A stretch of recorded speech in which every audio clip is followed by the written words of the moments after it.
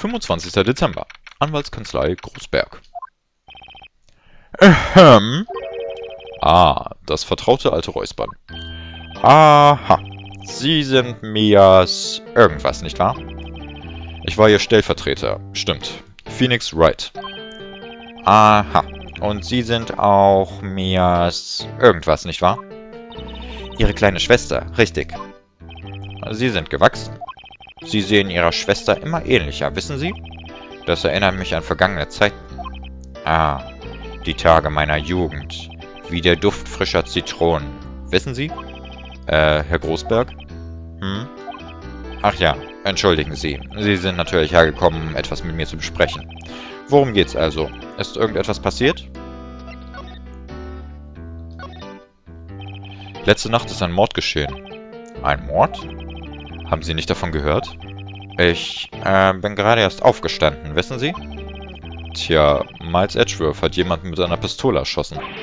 Edgeworth? Was? Wen? Nun, die Identität des Opfers ist noch unbekannt. Das sind ja schreckliche Neuigkeiten.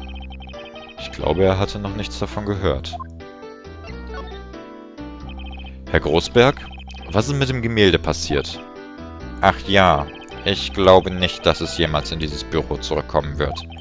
Ich kann es nicht wirklich als gestohlen melden. Ich denke, das ist mein verdienter Nachtisch. Alter, bitterer Nachtisch. Hm, okay, gut. Zeigen wir ihm mal unsere Anwaltsmarke. Sie sind richtig erwachsen geworden in den letzten paar Jahren, meine Liebe. Wie stolz Mia wäre, wenn sie sie jetzt sehen könnte. Sie sagte, mehr als alles andere wäre sie besorgt um mich. Ach je, freu dich doch einfach über das Kompliment, okay? Diese Kamera macht also immer ein Foto, wenn sie ein lautes Geräusch wahrnimmt? Das hat sie uns gesagt. Und sie war ganz zufällig so aufgebaut, dass sie auf den See gerichtet war? Ja, sie sagte, sie war dazu aufgebaut, Sternschnuppen zu fotografieren. Hm, Sternschnuppen. Explosionen. Wo ist denn da der Zusammenhang? Ich wäre misstrauisch gegenüber ihrer Zeugin. Hm? Seltsam. Ich habe das Gefühl, ich hätte diesen Mann schon mal irgendwo gesehen. Ah! Ist es Ihnen eingefallen? Er war ein Anwalt hier in meiner Kanzlei. Das ist Hammond. Robert Hammond. Herr Hammond? Und Sie sagen, das ist der Mann, den Miles Edgeworth erschossen hat? Foot vom See. Das ist also der Moment, in dem das Verbrechen verübt wurde, oder? Ja. Man kann nicht wirklich mit Sicherheit sagen, dass das Edgeworth ist. Ich bin mir nicht sicher, ob das gut oder schlecht ist. Überhaupt nicht sicher. Hm, Gordy-Artikel? Äh, entschuldigen Sie bitte. Ich bin mir nicht sicher, ob ich Ihnen dabei behilflich sein kann. Okay, aber Hammond, Hammond, Robert Hammond, das war doch schon mal sehr interessant. Wer ist dieser Hammond überhaupt? Herr Hammond. Er war der Verteidiger in diesem Fall. Diesem Fall? Ja, in dem Fall DL6. DL6? Woran erinnert mich das? Können Sie sich vielleicht erinnern? Ich bin mir sicher, dass er während der Verhandlung des Mordes an Mia erwähnt wurde. Das war der Fall, bei dem die Polizei so ratlos war, dass sie ein Medium beauftragte. Moment. Sie meinen doch nicht etwa... War dieses Medium meine Mutter? Ja, meine Liebe. Das Medium Misty Fee, ihre Mutter, nahm Kontakt zum Geist des Opfers auf. Aber der Fall wurde verloren. Es kam zu keiner Verurteilung. Der Fall DL6 stimmt. Es geschah vor 15 Jahren. Ein wirklich seltsamer Fall. Der Täter wurde nie gefasst, nicht wahr? Genau. Misty Fee benutzte ihre Gabe, um mit dem Geist des getöteten Opfers zu sprechen. Ihre Aussage führte dazu, dass Anklage gegen einen Mann erhoben wurde. Aber Herr Hammond hat den Prozess gewonnen und der Verdächtige kam frei.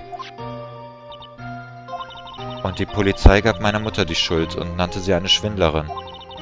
Sie hat mir damals aus der Patsche geholfen, nicht wahr, Herr Großberg? Äh, ja, ja genau. Vielen Dank.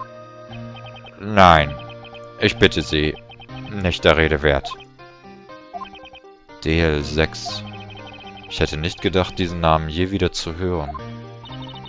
Aber warten Sie mal. Inwiefern hat dieser Fall denn mit Herrn Edgeworth zu tun? Er hat sehr, sehr viel mit Herrn Edgeworth zu tun, meine Liebe. Das Opfer im Fall DL6 war nämlich sein Vater, Gregory Edgeworth. Was? Sein Vater? Wenn Sie mehr erfahren möchten, sollten Sie ihn selbst fragen. Zeigen Sie ihm das hier. Ich bin mir sicher, dass er mit Ihnen sprechen wird.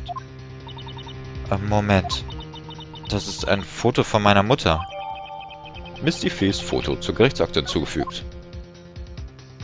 Gut, das hat uns an der Stelle schon mal sehr geholfen. Deswegen sagen wir, äh, danke, Herr Großberg, und zurück in die Strafanstalt, bitte. 25. Dezember. Strafanstalt. Besucherraum. Was ist? Habe ich mich beim letzten Mal nicht klar genug ausgedrückt? Edgeworth, was ist mit Ihrer Verteidigung? Hm, das geht Sie nichts an. Anscheinend hat er immer noch niemanden gefunden. Tja, zeigen wir mal das Foto. Hm. Edgeworth? Ihr letzter Besuch ist doch erst ein paar Stunden her. Trotzdem hat ihre Nachforschung unglaubliche Fortschritte gemacht. Ich muss zugeben, dass ich beeindruckt bin, Wright. Schließlich waren Sie schon immer sehr zielstrebig in Ihrer Arbeit. Wenn Sie etwas anfangen, dann ziehen Sie das auch durch. Was den Fall DL6 angeht... Richtig. DL6. Ich wollte nicht, dass Sie davon erfahren. Darum habe ich Ihr Angebot, die Verteidigung zu übernehmen, abgelehnt. Es tut mir leid, wenn es so klang, als traute ich Ihnen die Aufgabe nicht zu. Ich wollte Sie nur aus DL6 raushalten. Also, glauben Sie immer noch, ich sollte mich besser raushalten? Ich weiß es nicht. Aber ich sehe jetzt keinen Grund, Ihnen etwas zu verheimlichen. Sehr gut. Fragen Sie, was Sie wollen. Ich werde Ihnen nach bestem Wissen antworten. Juhu, wir haben es geschafft. So, reden, reden, reden. Edgeworth belabern. Der Fall DL6. Mein Vater starb dabei. Direkt vor meinen Augen. Er wurde erschossen. Ich habe alles genau gesehen. Meine Erinnerungen aus der Zeit sind verschwommen. Wahrscheinlich ein Selbstschutzmechanismus. Jedenfalls wurde ein mutmaßlicher Täter festgenommen. Ein Mann. Es war offensichtlich, dass nur er es gewesen sein konnte. Das Medium, das meinen toten Vater befragt hat, hat die Vermutung bestätigt. Ein Anwalt namens Robert Hammond wusch den Namen des Verdächtigen rein. Und Hammond ist das Mordopfer vom Gurtsee? Exakt. Hm. Das Medium, das war meine Mutter. Was? Sie meinen, Sie sind... Es ist seltsam. Ich dachte, dieser furchtbare Fall wäre so gut wie beendet. Und jetzt... das. So gut wie beendet? Der Fall DL6 ereignete sich vor 15 Jahren. Vor 15 Jahren. Am 28. Dezember. Am 28. Dezember? Die Verjährungsfrist läuft in drei Tagen ab. Was? Ähm, Nick, was bedeutet das? Wenn ein Fall verjährt ist, hat er sich rein juristisch betrachtet niemals ereignet. In drei Tagen wird die DL6-Akte geschlossen. Für immer. Was ist mit dem Verdächtigen? Dem, der für unschuldig erklärt wurde? Keine Ahnung. Er ist untergetaucht. Niemand weiß, wo er sich aufhält. Wäre er noch am Leben, müsste er jetzt so um die 50 sein. Ich denke, ich kann verstehen, warum er sich versteckt hält. Es wäre schwer gewesen, ein normales Leben zu führen als mutmaßlicher Mörder. Ähm, also war Ihr Vater Anwalt? Ja. Gregory Edgeworth. Zu seiner Zeit war er sogar eine kleine Berühmtheit. Also hatten Sie sozusagen vor, in seine Fußstapfen zu treten. Darüber möchte ich lieber nicht reden. Darüber möchte ich lieber nicht reden. Äh, können wir ihm noch irgendwas zeigen? Mal gucken. Ihre Anwaltsmarke? Im Moment habe ich wirklich keine Lust, so etwas zu sehen. Ja. Was ist das? Ich bin nicht gerade zum Scherzen aufgelegt, Wright. Entschuldigung. Ich wüsste nicht, was ich dazu sagen sollte. Wie wär's mit dem Foto? Hm. Wer hätte gedacht, dass es ein Foto gibt? Edgeworth, haben Sie ihn erschossen? Was denken Sie, Wright? Ich denke, dass Sie nicht der Typ sind, der eine Waffe auf jemanden richtet. Also haben Sie ihn nicht erschossen? Nein, habe ich nicht. Ich war es nicht. Right. Hm? Es fällt mir schwer, Sie das zu fragen. Sagen Sie nichts. Sie wollen, dass wir Ihre Verteidigung übernehmen. Ja. Würden Sie? Auf keinen Fall. Nein, natürlich, ja. Wir helfen unserem Edgy Patchy doch auf die, äh, ne, ja, wir helfen ihm doch aus Apache, ne? Das ist natürlich unser kleiner süß Edgy. Ah, wer hätte gedacht, dass wir diesen Tag noch erleben dürfen? Ich bestimmt nicht. Endlich habe ich die Chance, mich bei Ihnen zu revanchieren. Revanchieren? Bei mir? Wofür? Ich kann mich nicht daran erinnern, irgendetwas für Sie getan zu haben. Vergessen Sie es. Eigentlich müssen Sie gar nicht wissen, wofür. Ah. Mein schriftliches Gesuch. Geben Sie es bitte an Inspektor Gumshoe weiter. Edgeworths Gesuch in die Tasche gesteckt. Nun, ich denke, wir sollten... Äh, was ist das? Erdbeben, Nick. Ein schweres. Ah. Äh, es lässt nach. Äh, puh, hatte ich eine Angst. Hm? Hä? Wo ist Edgeworth? Da. Er liegt zusammengerollt und zitternd auf dem Boden. Mit Erdbeben kommt er wohl nicht so gut klar. Wegrennen? Okay. Aber sich auf dem Boden zusammenrollen? Okay, ich glaube, das war's. Sieht nicht so aus, als ob Herr Edgeworth demnächst wieder aufsteht. Lass los, Nick. Äh, okay. Wir müssen Inspektor Gumshoe noch Edgeworths Gesuch geben. Hm, komisch. Edgeworth, Angst vor Erdbeben? Na gut, ja. Haben manche Leute. So, Kriminalabteilung. 25. Dezember. Polizeirevier. Kriminalabteilung. Was ist denn hier los? Eh. Was ist denn passiert, Inspektor? Diese wilde Lady ist vor einer Weile hier aufgetaucht. Sie sagte, sie wäre gekommen, um mit allen zu reden, wegen dem, was Herr Wright sagte. Was soll denn das alles, Junge? Lotta Hart. Warum stöbern Sie rum und suchen nach weiteren Zeugen? Wollen Sie, dass Herr Edgeworth die Todesstrafe bekommt, Junge? Nein, natürlich nicht. Es ist nur... Ich meine, sie hat etwas gesehen. Dafür kann ich doch nichts. Ich kann ja nicht losziehen und Beweise verschwinden lassen. Äh... Wollen Sie irgendetwas andeuten, wie ich meinen Job verrichte? Nein! Halleluja. Äh. Nun, was hat Frau Hart gesagt? Sie sagte, sie hätte gesehen, wie Herr Edgeworth die Pistole abgefeuert hat. Was? Sie hätte sogar ein Foto, um es zu beweisen. Stimmt, das habe ich auch gesehen. Aber man kann auf dem Foto nicht erkennen, wer derjenige ist, der geschossen hat. Deswegen hat sie gesagt, dass sie das Foto vergrößern wird. Sie sagte, die Qualität wird ein wenig darunter leiden, aber man sieht, wer es ist. Das kann sie tun? Okay, es wird also ein vergrößertes Foto geben, das Edgeworth bei der Tat zeigt.